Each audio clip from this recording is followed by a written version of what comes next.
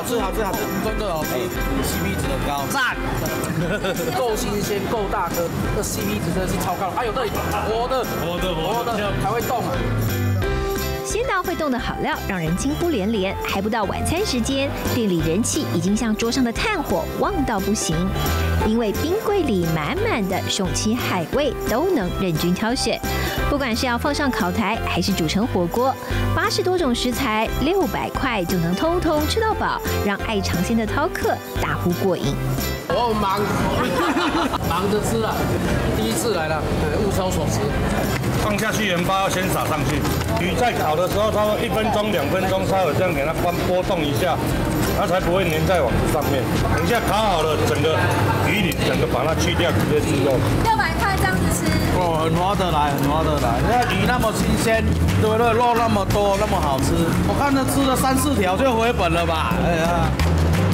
各式鲜鱼一字排开，在伸展台上争奇斗艳，一旁还有凤螺、蛤蜊、扇贝、鱼下巴、小乌贼，数不完的澎湃好料，让人看得眼花缭乱，好苦恼。还在想今天要吃什么？但也有饕客早就拟好作战计划。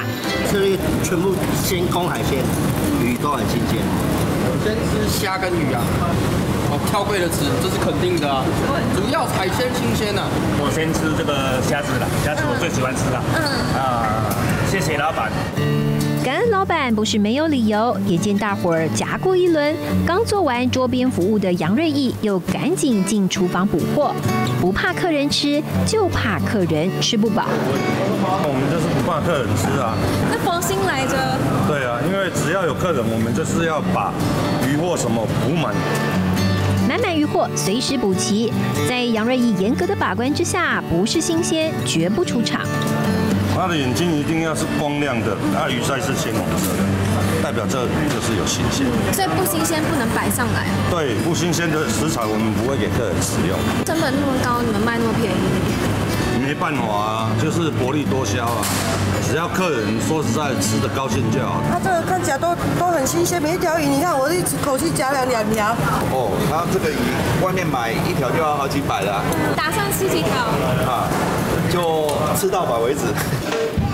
抢好料不手软，直到手里的大铁盘装好装满，就可以放上烤台，等待一只只的鲜鱼亮丽变身。巧手一翻，涂满盐巴的红鱼已经烤得焦脆喷香，不断的飘送浓浓海味。